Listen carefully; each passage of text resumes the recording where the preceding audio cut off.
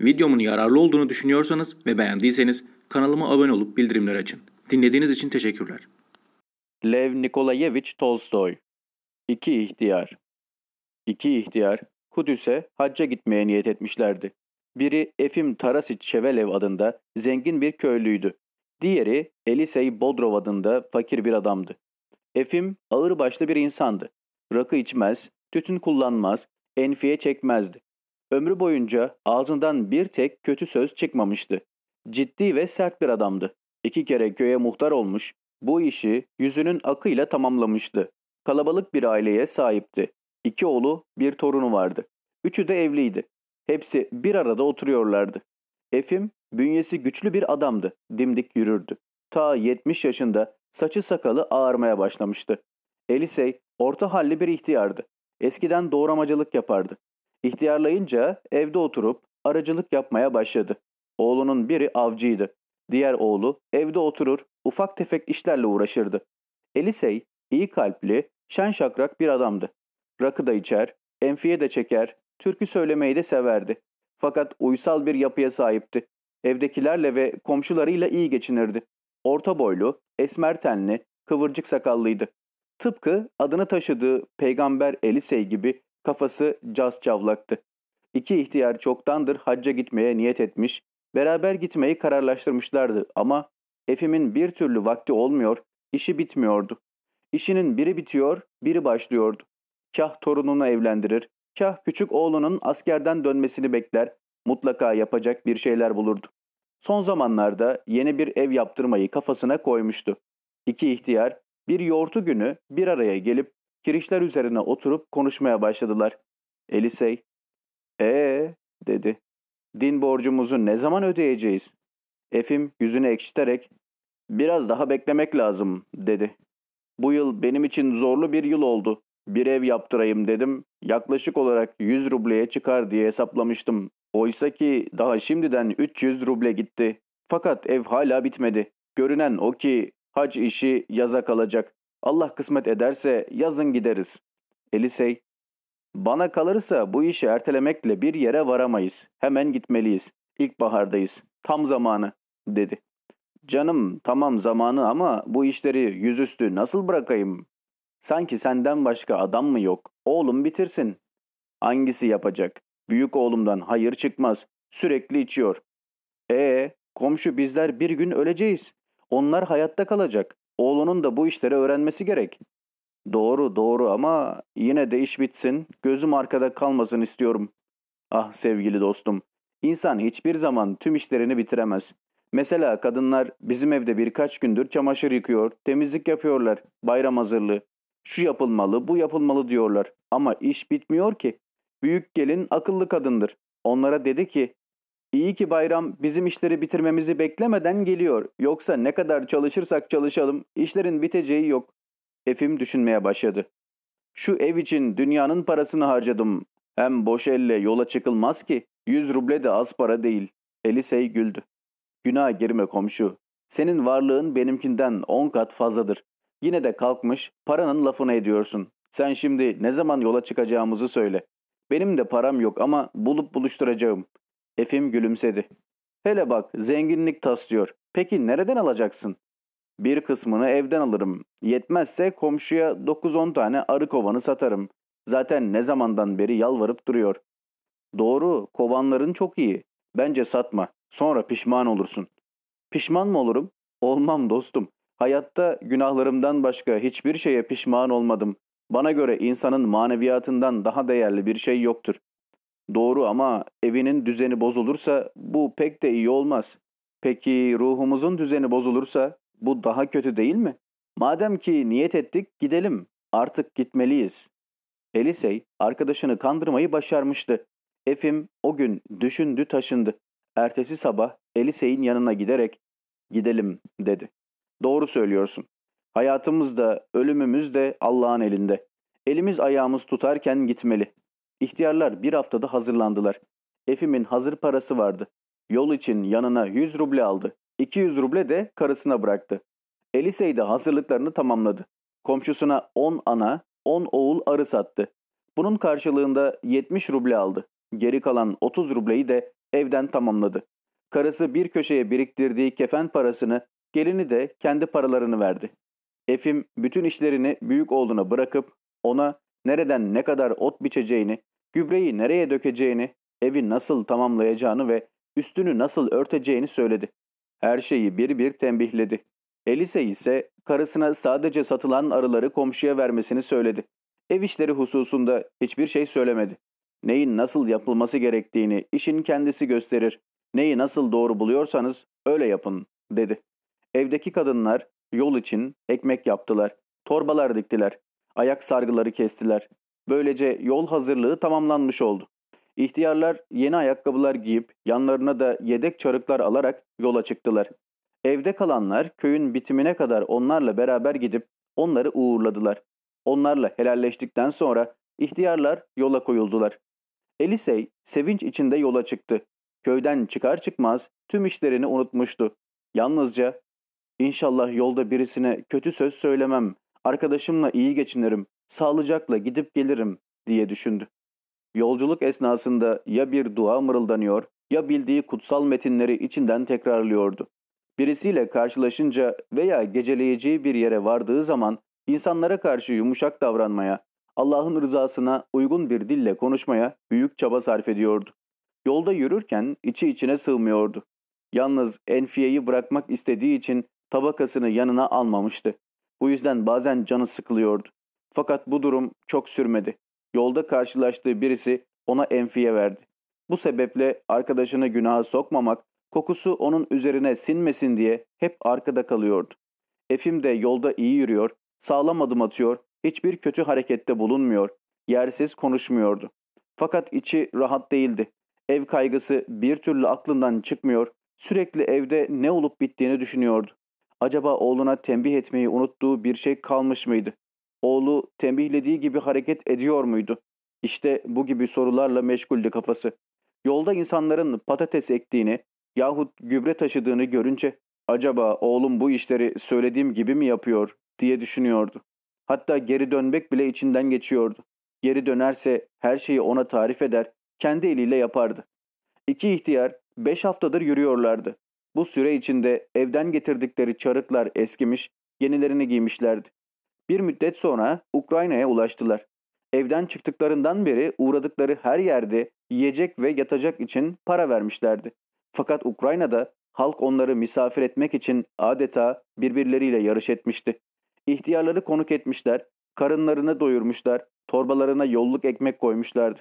Üstelik bunların karşılığında para da almamışlardı. Böylece iki ihtiyar 700 verste yakın bir yol gittiler. Bir şehirden geçip kıtlık içinde kıvranan bir yere vardılar. Oranın halkı onlara yatacak yer gösteriyor, para da almıyordu. Fakat yiyecek vermiyorlardı. İhtiyarlar çoğu zaman parayla bile ekmek bulamıyorlardı. İnsanlar geçen yıl hiçbir şey olmadı diye yakınıyordu onlara. Kıtlık yüzünden zenginler bile batmış, varını yoğunu elden çıkarmışlardı.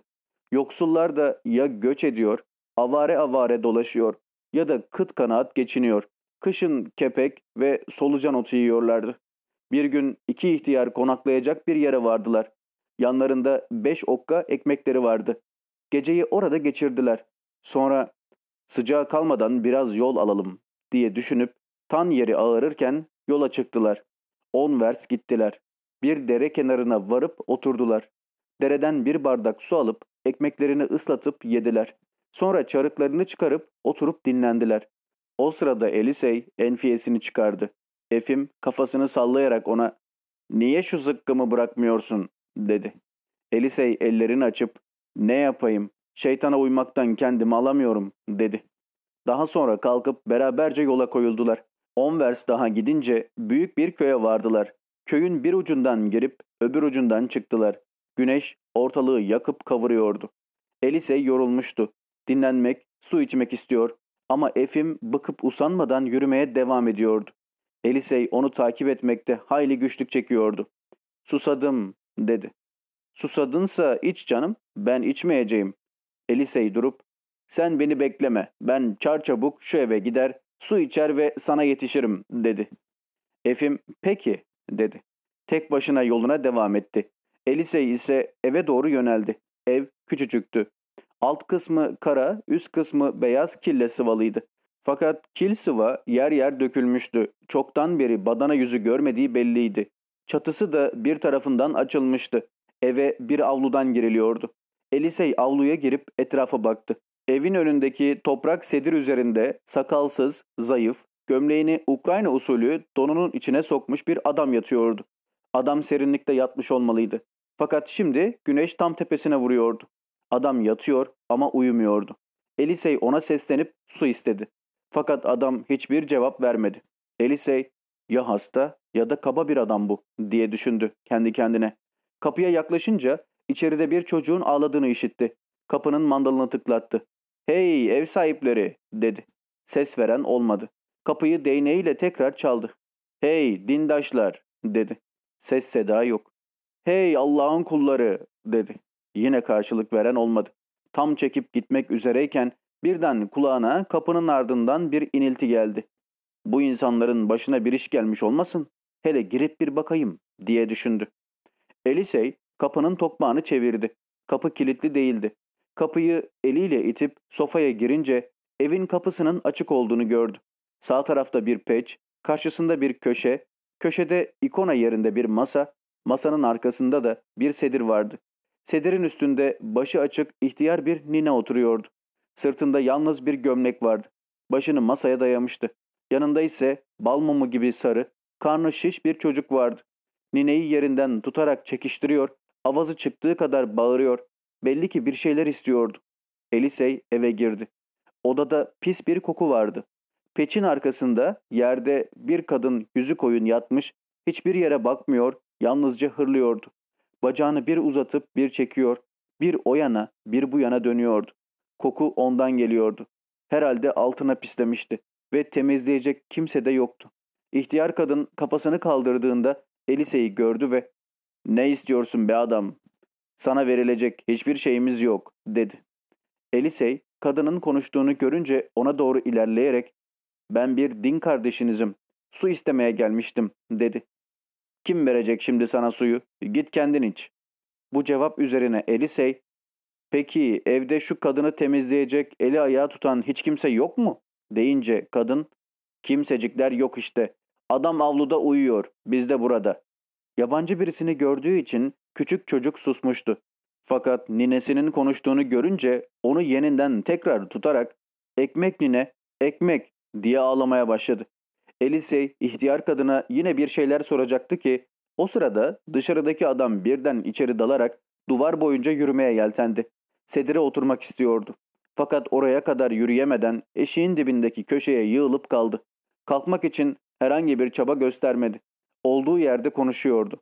Bir söz söyleyince durup soluklanıyor, ardından başka bir söz söylüyordu. Hastalık ve açlık başımıza musallat oldu, dedi.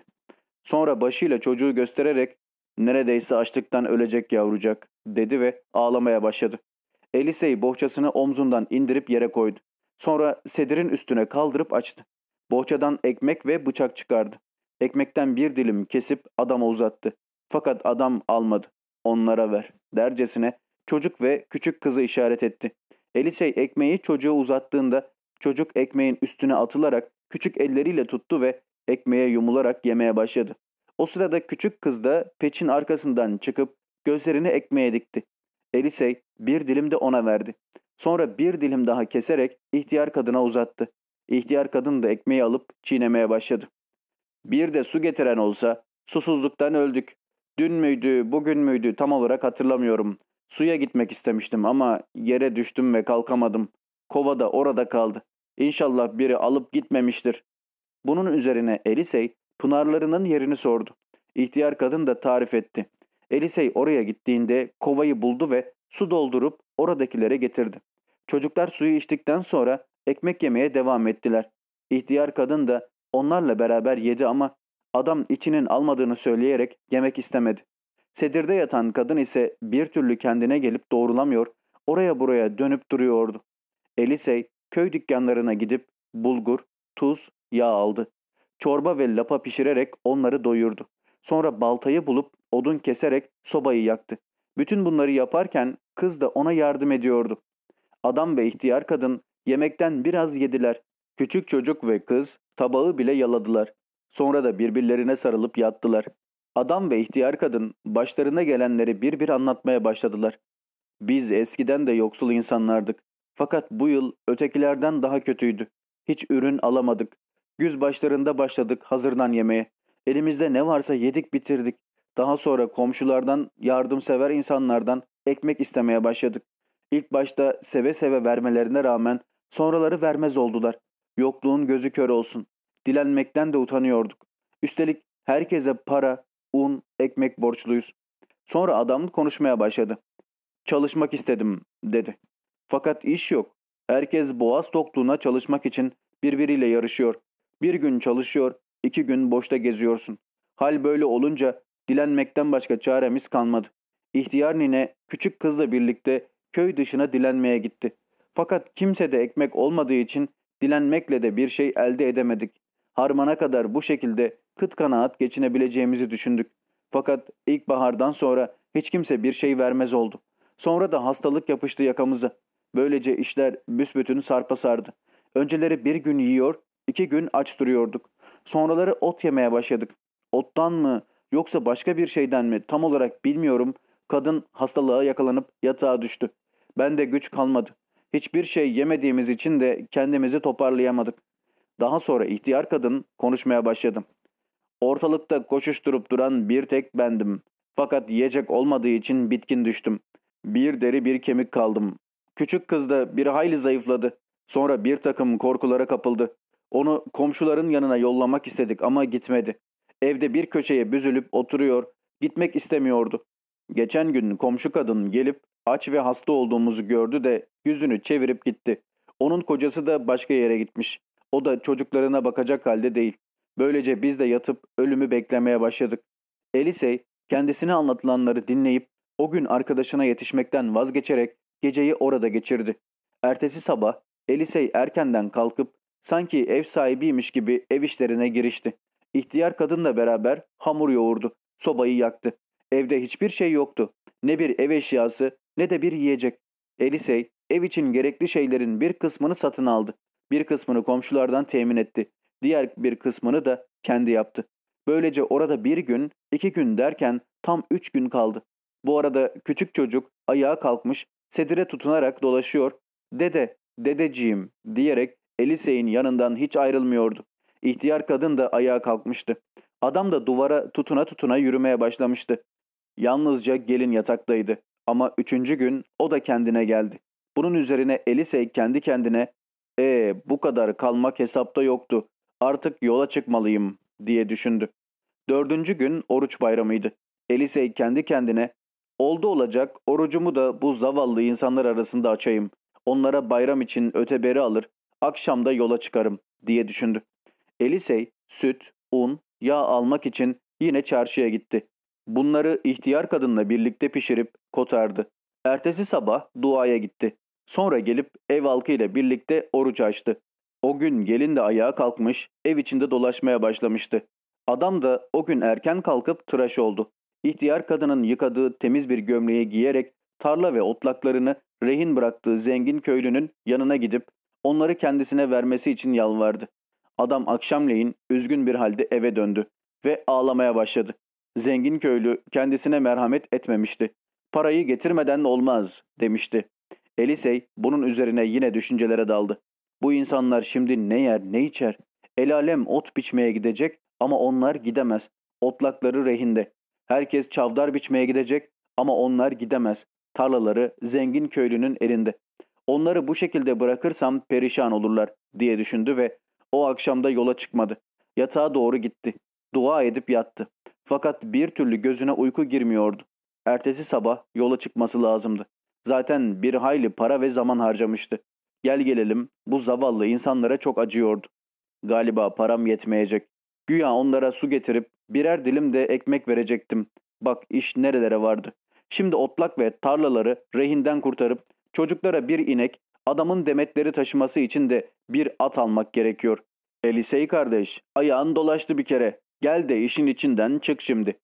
Bunları düşünüp yerinden kalktı. Kaftanını alıp enfiyesini çıkardı.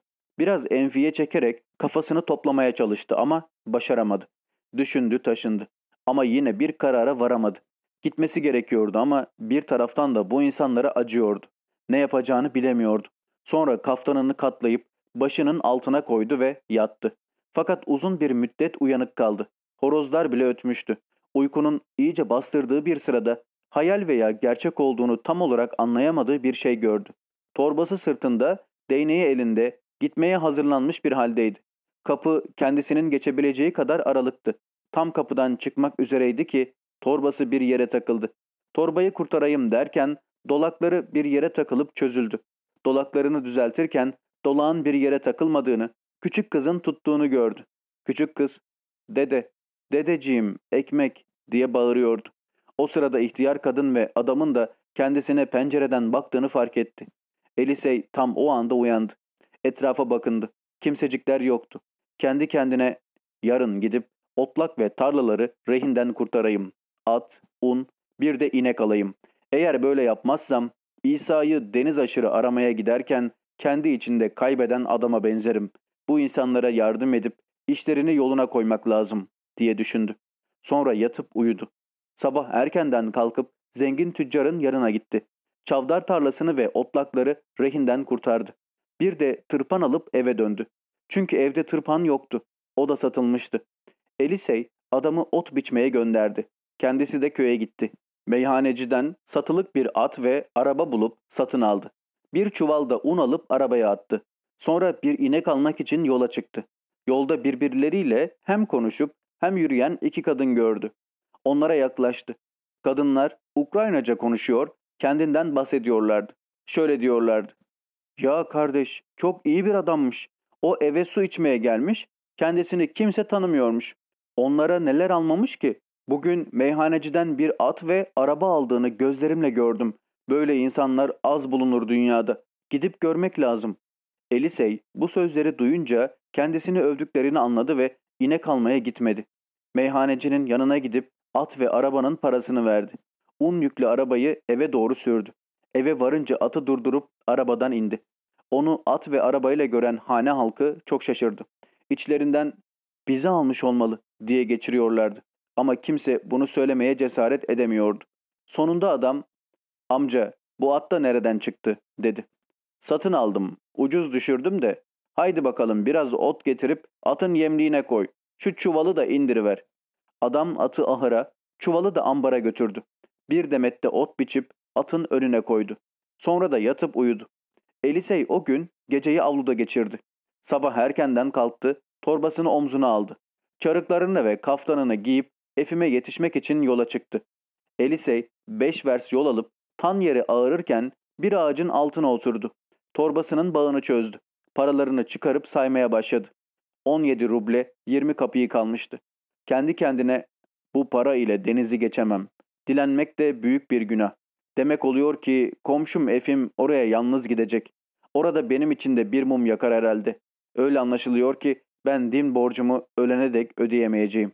Alemlerin Rabbi çok merhametlidir. Umarım beni bağışlar diye düşündü. Sonra kalkıp torbasını sırtına aldı ve geri dönmek üzere yola çıktı. Bir gören olmasın diye de köyün etrafından dolaştı. Kısa bir zamanda evine ulaştı. Giderken Efim'e yetişmekte çok güçlük çekiyor, bir hayli kendini zorluyordu. Fakat geri dönerken Allah ona öyle bir kuvvet vermişti ki hiç yorulmaksızın yola devam ediyordu. Değneğini sallayarak güle oynaya günde 70 vers yol yürüyordu. Eve vardığında ekinler biçilmişti. Evdekiler ihtiyarın gelişine pek sevindiler. Ne oldu? Ne bitti? Niçin arkadaşından ayrıldın? Niye gitmeyip eve döndün? diye bir sürü soru sordular. O da yalnızca Allah kısmet etmedi işte dedi. Yolda paraları harcadım. Arkadaşımdan da geri kaldım ve gidemedim. Allah için beni bağışlayın. Sonra geri kalan paraları karısına verdi. Ona ev işlerinin nasıl gittiğini sordu. Her şeyin yolunda olduğunu öğrendi. Yarım yamalak kalmış, ters giden hiçbir şey yoktu. Herkes mutluydu. O gün Efimgiller Elisey'in geldiğini duymuşlardı. İhtiyarı sormaya geldiler. Elisey onlara dedi ki, sizin ihtiyar yaman yürüyor. Biz Petrus yortusundan üç gün önce birbirimizden ayrıldık. Ona yetişmek istedim ama bir takım şeyler oldu. Paramı kaybettim. Bunun üzerine yola devam edemedim ve geri döndüm. Dinleyenler bu kadar akıllı bir adamın böyle bir budalalık edip gideceği yere gidemediğine, paralarını kaybettiğine şaşırıp kaldılar. Fakat bir müddet sonra olay kapandı gitti. Daha sonra Elisey ev işleriyle uğraşmaya başladı. Oğullarıyla birlikte kışlık odun hazırlıyor, kadınlarla birlikte harman dövüyor, samanlıkları örtüyor, arı kovanlarına çeki düzen veriyordu. Komşusuna oğul arılarla birlikte 10 ana kovan satmıştı. Karısı satılan kovanların kaçının oğul verdiğini ondan gizlemeye çalışıyordu. Fakat Elisey oğul verenlerle vermeyenleri bildiği için komşusuna 10 yerine 17 kovan verdi. Elisey işlerini tamamladı. Oğlunu çalışmaya gönderdi. Kendi de kış için çarık yapmaya, kovan oymaya koyuldu. Elisey köyde hasta insanların evinde kaldığı sırada Efim yürüdü, sonra durup arkadaşını beklemeye başladı. Bir süre etrafa bakındı. Sonra birazcık kestirdi. Uyanınca arkadaşının hala gelmemiş olduğunu gördü. Uzun uzun yola baktı. Artık gün batıyordu. Ama Elisey hala ortalıkta görünmüyordu. Sakın geçip gitmiş olmasın. Belki de birisinin hayvanına binmiştir de ben uyuduğum için fark edememişimdir diye düşündü. Fakat onu görmemesine imkan yoktu. Çünkü tam bozkırı gören bir yerde oturuyordu. Eğer şimdi geriye dönsem daha kötü olacak. Ya geçip gitmişse? O zaman birbirimizden daha çok uzaklaşmış olacağız. İyisi mi ben yoluma devam edeyim. Buluşacağımız yerde onu beklerim diye geçirdi içinden ve yola çıktı.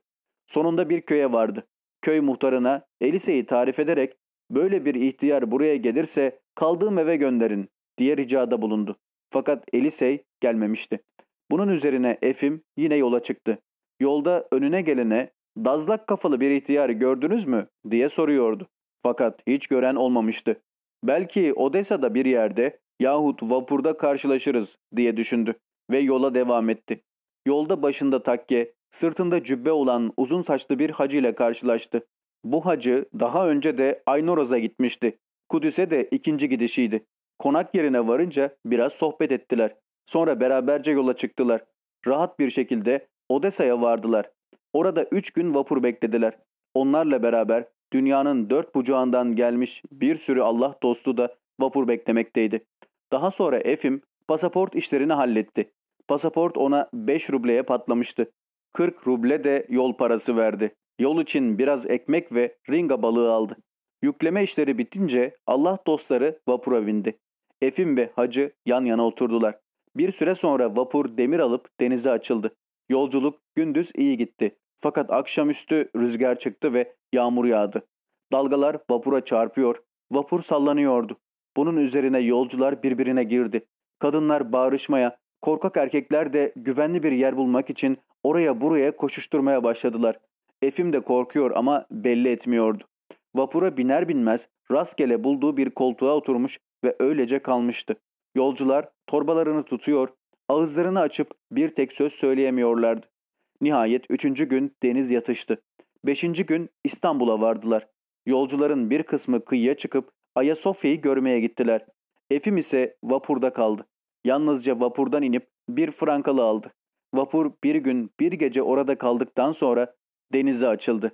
İzmir ve İskenderiye'ye uğrayıp sağ salim Yafa'ya vardılar. Allah dostlarının tümü Yafa'da indi. Kudüs'e varmak için daha 70 vers yol yürümeleri gerekiyordu. Vapur yüksek olduğu için yolcular vapurdan inerken korkuya kapıldı. Yolcuları kayıklarla indiriyorlardı. Kayık sağa sola yalpaladığı için iki kişi denize düştü. Fakat diğerleri sağ salim karaya çıktı. Üç gün yürüdüler. Öğleye doğru Kudüs'e vardılar. Yolcular şehir girişindeki Rus konuk evinde durdular. Pasaportlarını vize ettirdiler. Karınlarını doyurdular. Bir süre sonra Efim yeni arkadaşıyla birlikte kutsal yerlerin yolunu tuttu. Fakat kimseyi İsa'nın mezarı yanına bırakmıyorlardı. Onlar da büyük manastıra gittiler. Tüm yolcular da oradaydı. Sonra kadın ve erkekler birbirlerinden ayrılıp ayakkabılarını çıkararak halka şeklinde oturdular. Biraz sonra elinde havlu bulunan bir keşiş ortaya çıkıp herkesin ayağını yıkadı, kuruladı, öptü. Daha sonra sabah ayini yapıldı. Dua edildi. Mum yakıldı. Ölüm günlerinde dualar okunsun diye anne ve babaların adları deftere yazıldı. Yolculara yemek ve şarap ikram edildi. Ertesi sabah Meryem'in kurtuluşa erdiği odaya gidildi. Orada da mum yakılıp ayin yapıldı. Oradan İbrahim Manastırı'na gidildi. İbrahim'in oğlunu kurban etmek istediği yer Savek bahçesi ziyaret edildi. Sonra Efim ve arkadaşı İsa'nın Maria Magdalena'ya göründüğü yere Yakup Kilisesi'ne gittiler. Arkadaşı Efim'e gidilecek yerleri gösteriyor, nereye ne kadar para bağışlamak gerektiğini söylüyordu. Öğleyin beraberce konuk evine dönüp yemek yediler. Tam yatacaklardı ki Efim'in hacı arkadaşı elbiselerini yoklayıp ahlar vahlar etmeye başladı. Kesemi aşırmışlar. İçinde 23 ruble vardı. İki tüm onluk, 3 ruble de bozukluk dedi. Hacı bu duruma çok üzülmüştü. Fakat yapacak bir şey olmadığı için bir müddet sonra yattı. Efim yatağa uzandı. Bir şey zihnini kurcalamaya başladı. Kanımca hacının parası falan çalınmadı. Zaten hiçbir yerde para bağışlamıyordu. Bana para bağışlamamı söylüyor ama kendisi vermiyordu. Hatta benden bir ruble borç almadı mı? Parası olsa niye benden istesin diye düşündü.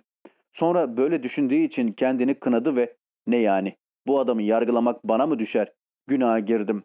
Bir daha böyle bir şey düşünmeyeceğim dedi. Biraz sonra yine ihtiyarın ne kadar uyanık olduğunu utanıp sıkılmadan nasıl kesemi aşırdılar dediği aklına geldi. Herhalde hiç parası yoktu.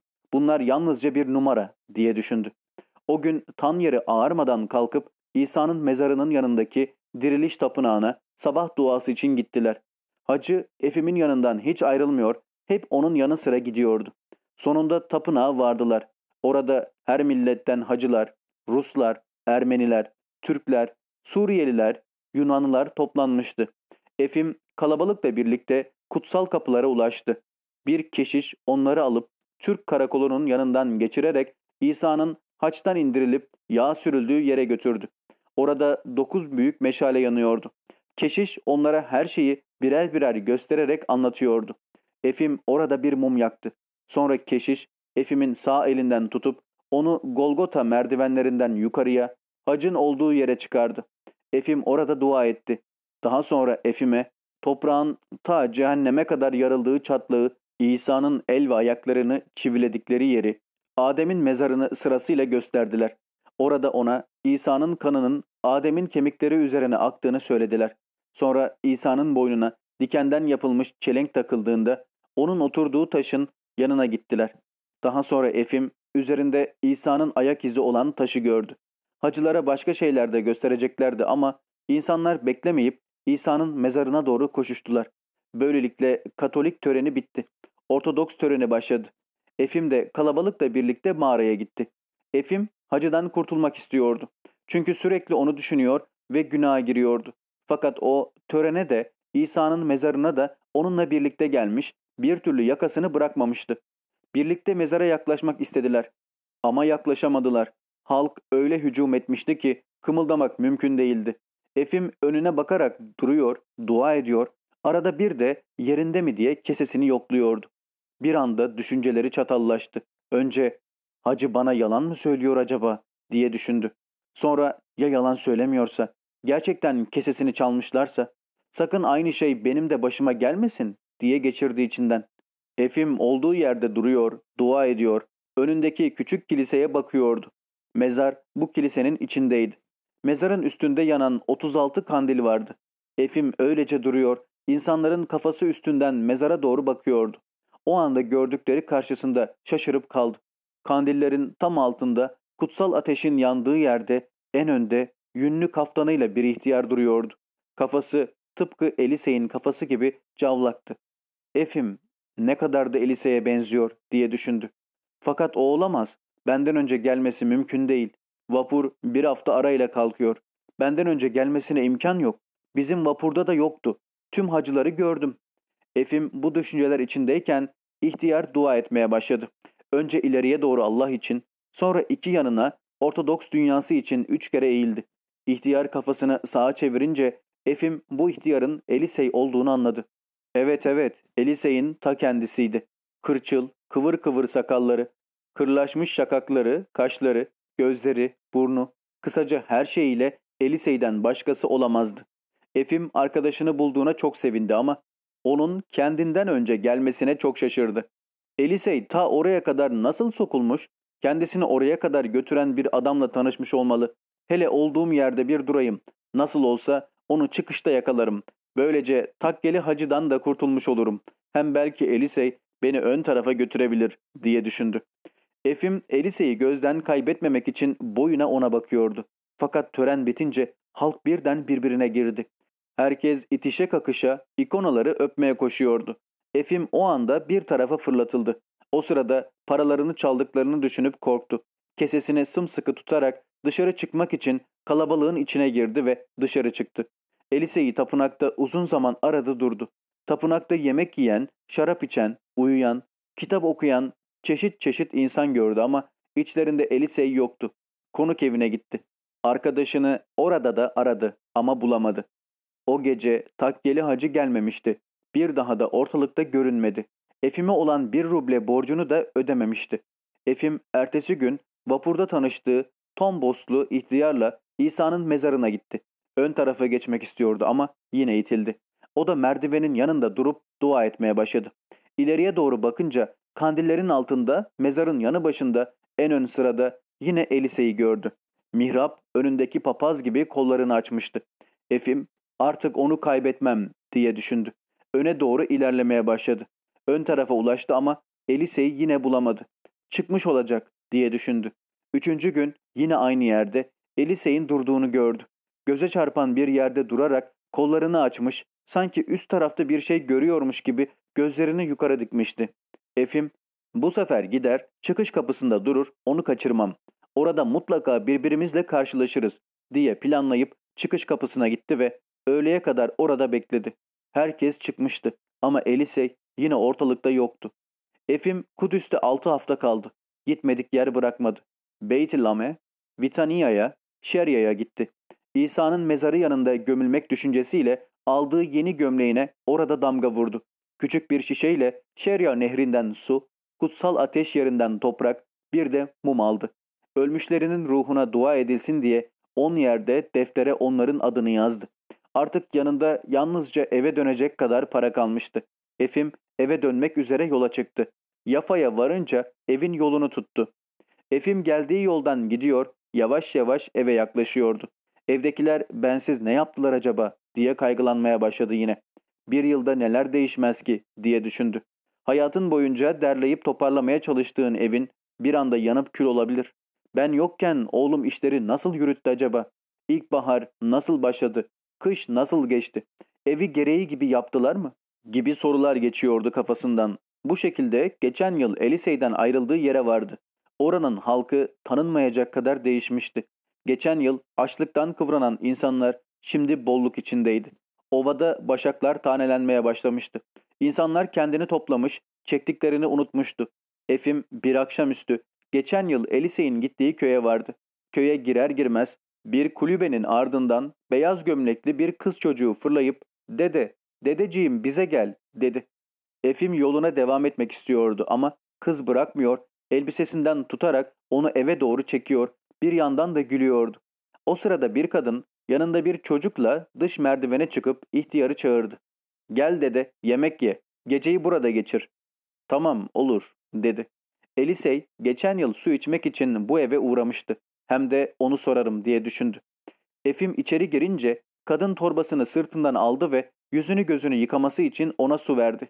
Masaya oturttu, ona süt, ekşimişli börek, lapa getirip sofraya koydu. Bunun üzerine Efim onlara teşekkür etti. Yolcuları iyi karşıladıkları için onlara iltifat etti. Kadın başını sallayarak ''Bize gelip geçenleri iyi karşılamayacağız da kimi karşılayacağız?'' dedi. ''Biz hayatı bir yolcudan öğrendik. Allah'ı unutmuş bir vaziyette yaşayıp gidiyorduk. Allah bizi öyle bir cezalandırdı ki neredeyse hepimiz ölecektik. Yazın hepimiz yatağa düştük. Yiyeceğimiz hiçbir şey kalmamıştı. Üstelik hastalığa yakalanmıştık. Hepimiz ölüp gidecektik. Fakat o sırada Allah bize senin gibi bir ihtiyar verdi. Bizim ayağa kalkmamıza sebep oldu. Toprağımızı rehinden kurtardı. Bize at ve araba satın aldı, dedi. O sırada ihtiyar bir kadın içeri girip genç kadının sözünü keserek insan mıydı, Hızır mıydı, doğrusu biz de tam olarak bilmiyoruz, dedi. Herkesi sever, herkese acırdı. Kim olduğunu söylemeden çekip gitti.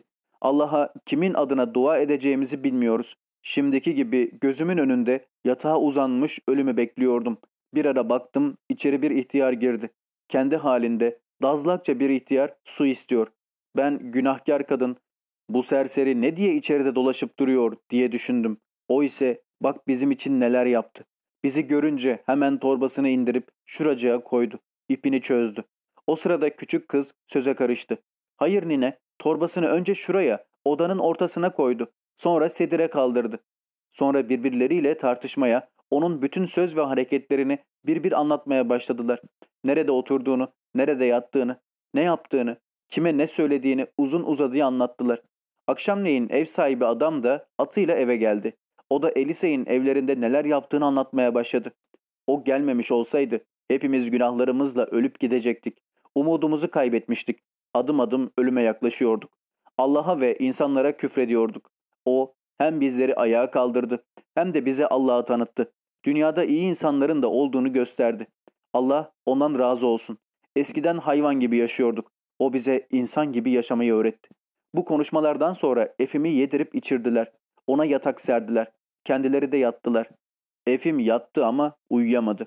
Kudüs'te, ön safta, üç kere gördüğü haliyle Elisey bir türlü gözünün önünden gitmiyordu. Evet, o beni geçmiş.